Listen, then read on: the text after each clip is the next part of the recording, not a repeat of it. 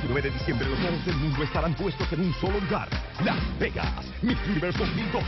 Nuestra misión es la sexta corona. Aquí en Telemundo, tu canal.